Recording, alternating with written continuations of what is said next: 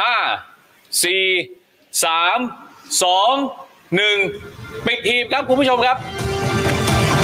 นะฮะนี่กี่รอบจะกลัวเมื่อไหร่ไอเดียไอเดียได้ปะ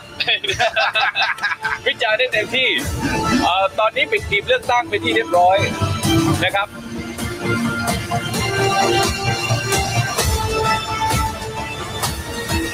นี่เป็นไงฮะ ตอนนี้ยังเย็นอยู่ใช่ไหมยังเป็นหิมะอยู่ เดี๋ยวเราจะดูไปพร้อมๆกันนะฮะ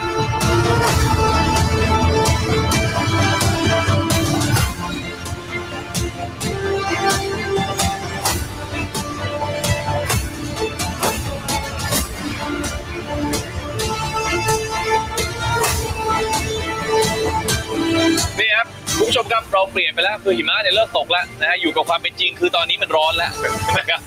สังเกตว่า สีแดงเราเยอะนะฮะครับหรือมันส้มเฮ้ยไม่คืออย่างงี้เฮ้ย มันมันมันสองสีนะ มันสองมันทั้งแดงทั้งทูส้ม two-tone นะฮะมัน two-tone มันเป็นสีเปลวเพลิงครับคุณปลื้ม อ๋อใช่แล้วเก้าอี้นี่มันร้อนจะดูเก้าอี้นี่คือเก้าอี้นายกรัฐมนตรีข้างหลังพี่ถึกเนี่ยนะฮะเปลวเพลิงนี่วันนี้เรา two-tone ฮะ two-tone มีความสำคัญมีนัยยะ ครับทั้งแดงทั้งส้มเอาอส้ย่างนี้โดยบังเอิญประเด็นแรกสุดณวันนี้ มีคนตั้งคำถามว่า เอ่อประยุทธ์จะอยู่ที่พักไหม เพื่อรอฟังผลเลือกตั้งครับคำตอบคือ ถ้าได้ต่ำกว่ายี่ห้าเราจะไม่เห็นหน้าประยุทธ์ครับ ขึ้นอยู่กับคะแนนใช่ไหมฮะ